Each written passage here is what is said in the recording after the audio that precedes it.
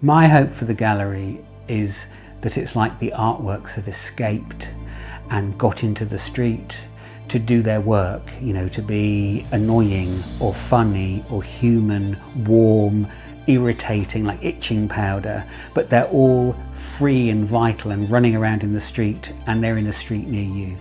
The beauty of uh, billboards, digital screens, is that they are everywhere. So as we show work, it is sort of everywhere and nowhere. It's in the air. You'll see one, twice, three times, four times, five times. The work slowly comes into consciousness. And that sort of wonderful, slow build of presence, I think is a great way of experiencing art.